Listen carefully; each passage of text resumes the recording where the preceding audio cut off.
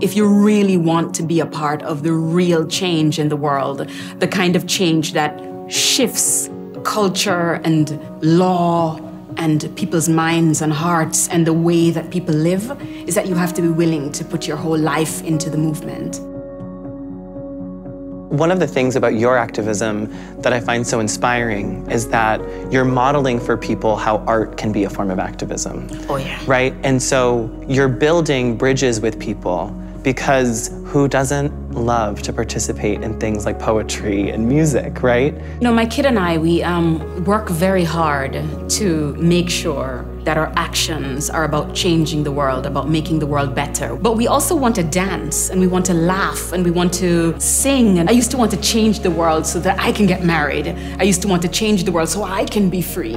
But now I want to change the world so that she can be free. When we're talking about how motherhood has evolved your activism, I'm wondering how you're looking at this landscape and how you're still finding a sense of hope. LGBT communities will continue to fight. The activist community will continue to move forward. Change has to come. It will come. It has always come. So I'm in it for the long haul. I think I feel like you are too. Thank you so much, Staceyann. Thank you very much for having me. Big, big love.